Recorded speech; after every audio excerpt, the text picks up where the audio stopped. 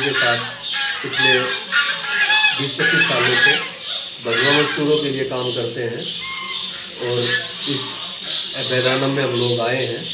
जैसे आयुर्वेद का पीछे हम लोगों ने कहा, उद्यान पूरा, हर बीमारी का इलाज है उसमें। देसी जड़ी बूटे जिसको बोलते हैं। तो काफ़ी तरह के हमने उद्यान में देखे पेड़ पौधे जो हमारे शरीर के लिए काफ़ी लाभदायक होते हैं। और यहाँ गुरुकुल भी बहुत अच्छा बना रखा है। आयुर्वेदिक का एक बड़ा अच्छा एक सेंटर है दवाई देने का यहाँ पे। डॉक्टर भी बैठते हैं यहाँ पे। वो देख के और दवा वगैरह देते हैं। और पक्षी वगैरह कितने बढ़िया, शानदार पक्षी यहाँ पे इलाज होता है इनका पक्षी पक्षियों का। बड़ा अच्छा लगा हमें यहाँ का जो एटमोसफेयर जो है, बिल्कुल एक शुद्ध वातावरण में हम लोग आए यहाँ। तो बड़ा अच्छा लगा हमें। बहुत बहुत धन्यवाद। ये आगे और चलता रहे। इसमें काफ़ी तरक्की हो ताकि पशु पक्षियों की सेवा हो सके हो सके।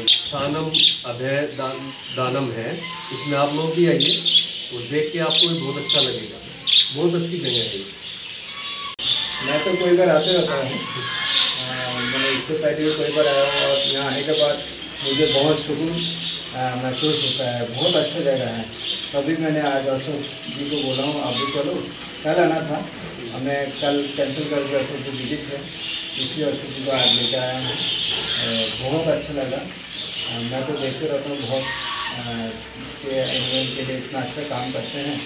तो देख के बहुत अच्छा लगता है। थैंक यू धन्यवाद। ऐसे काम करते रहिए।